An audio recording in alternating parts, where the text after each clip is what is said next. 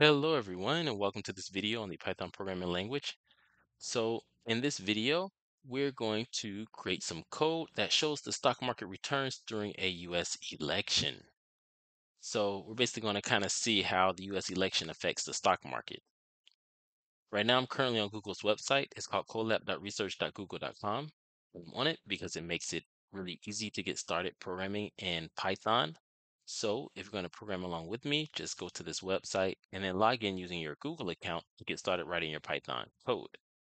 All right, so to get started with me, go ahead and click on File, then click on New Notebook and Drive, and this will open up a new tab for you and a cell.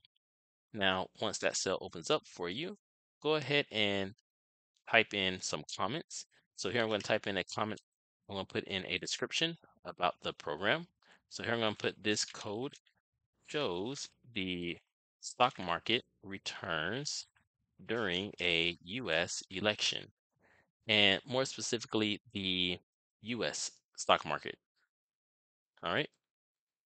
So also I should say that if you want the code from this video and or the data set, you can get that on Patreon at patreon.com slash computer science. And I will leave a link for that in the description below.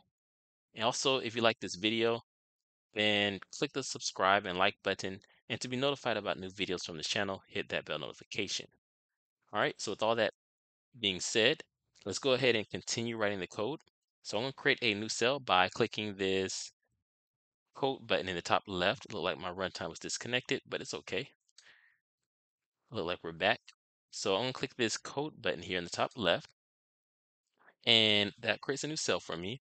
And now here I'm going to import the libraries that I plan on using throughout the program. So Google gives me a bunch of suggestions here, and they all look pretty good except for that last one. So I'm just going to tab over, and I'm going to get rid of this here. All right, so let's go ahead and run this cell by clicking this button here to the left, and I get a little check mark saying everything looks good and everything's okay after executing this code. So I'm going to create a new cell. And now I'm going to load the S&P 500 data. All right, to do this, I'm going to create a variable called SP500, and I'm going to set it equal to pd.read underscore CSV. And then I need to put in the CSV file name that I want to read. And to do that, you will need to have that file already uploaded to Colab.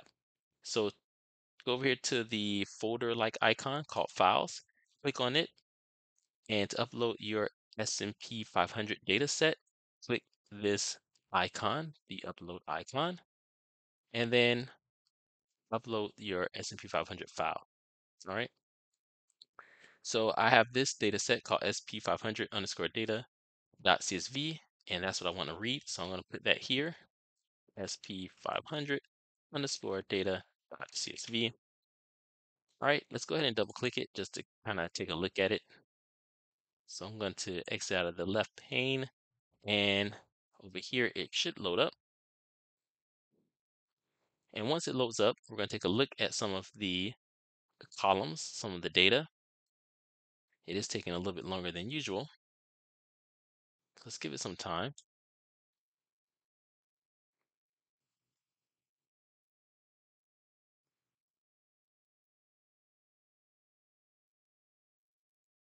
Okay, so it looks like it's done.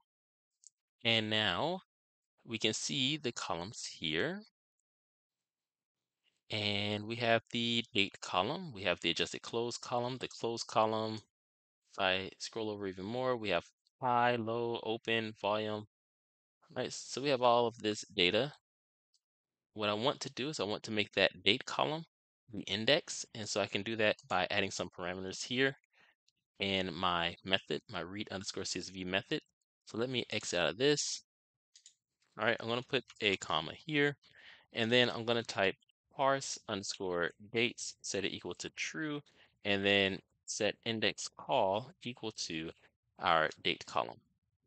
All right, so now if I run this, everything looks good. I should have shown the data, so I'm going to go ahead and just type show data here. So I'm going to type SP500 and let's run this one more time. And now we take a look at the data set this way. And we can still see the same columns, except for we no longer have that date column, right? Because our date is now the index. All right. So if I scroll down here, I can see that I have 18,121 rows of data and I have those six columns. All right, so that's our data set. All right, so I'm gonna go ahead and create a new cell. And now I'm going to calculate the annual returns. So calculate the annual returns. So I'm gonna create two, I'm gonna create two new columns. So one column I will call year and year will hold the year from our date. And to get that, we just type sp500 dot index dot year. Okay. Next, I'm going to create another column. So I'm going to call this column annual return.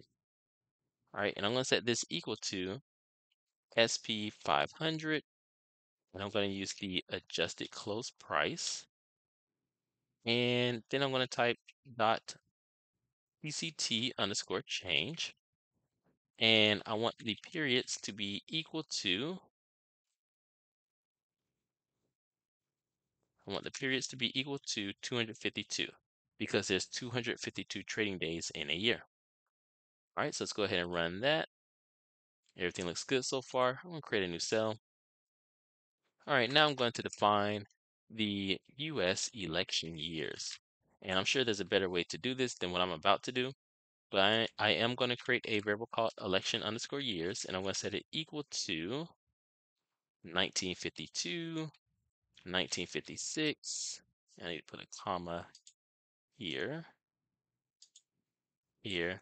All right, 1960, 1964, 1968, 1972, 1976, 1980, 1984, 1988, and 1992, 1996, 2000, 2004, 2008, 2012, 2016, 2020, and 2024. Hopefully, I did not mess up anywhere. Like I said, there's definitely a better way to do this than what I just did by typing out all these dates. But I use 1952 because our data set starts in 1952, and I used 20 or ended in 2024 because our data set ends in 2023, all right, of December. Okay, so let's go ahead and run this cell. Let's create a new cell. And now here, I want to categorize the years.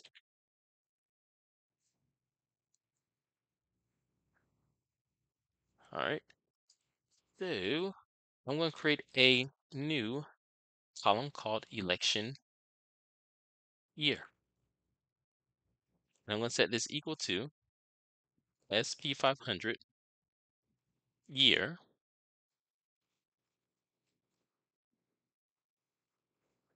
dot apply. I'm going to use a lambda function. And actually, what Google's suggesting here looks pretty good. So I'm just going to tab over.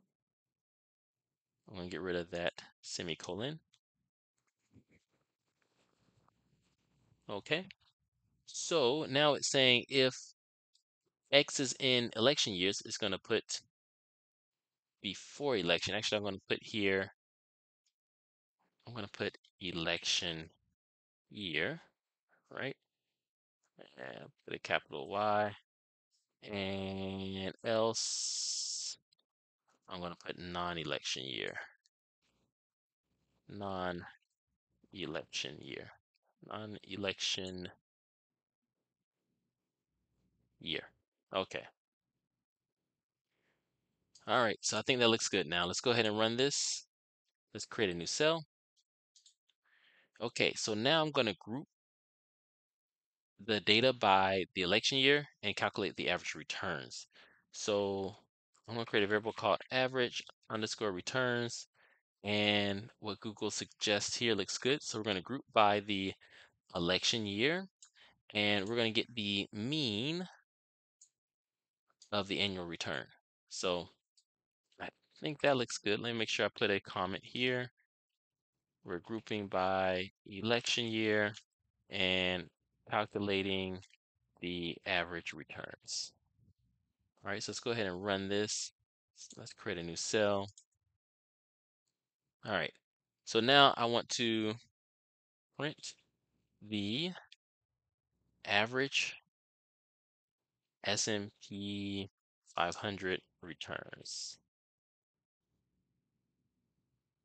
Okay, so now if I print average returns, I should get multiple results. So let's go ahead and run this.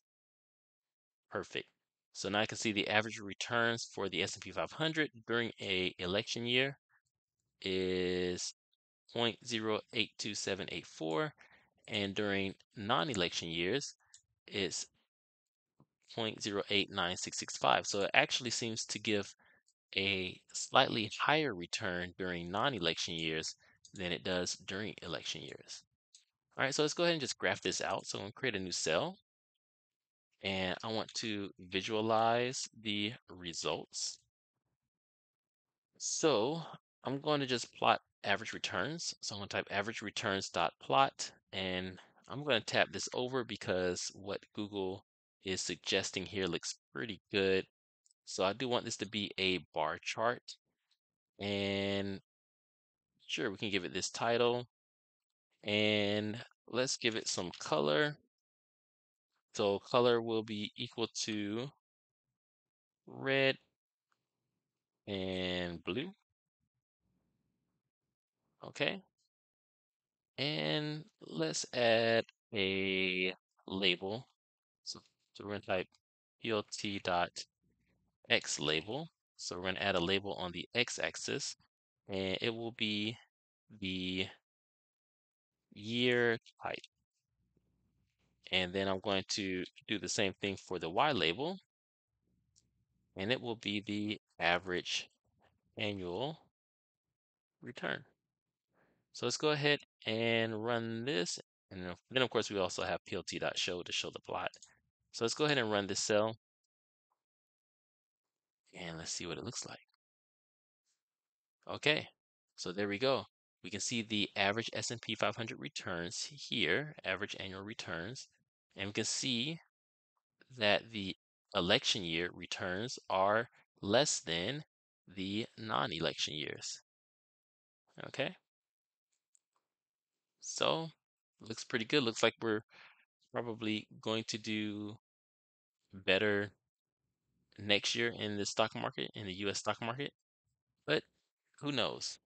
I cannot predict the future, and only time will tell. All right, but I really hope that you all enjoyed this video. Please leave any questions you have in the comment section. Please leave all the likes uh, for this video that you can. And again, if you want to get the code, you can get it on Patreon at patreon.com slash computer science. And of course, you can get the data set as well. And thank you all to the Patreons on patreon.com slash computer science. I really appreciate it. Anyways, I hope you all have a wonderful day. Thank you all for watching, and I'll see you all in the next video. Bye-bye.